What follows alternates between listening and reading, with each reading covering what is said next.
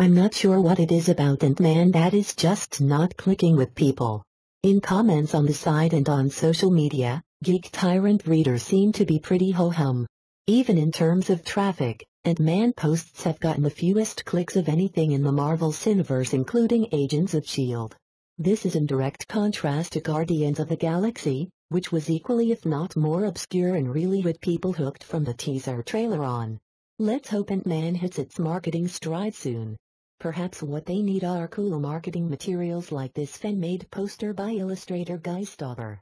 It presents Scott Lang, Paul Rudd, in the midst of a size change, is there a better term for that? Ant-Man attempts to step out of Avengers, Age of Ultron Shadow July 17, USA.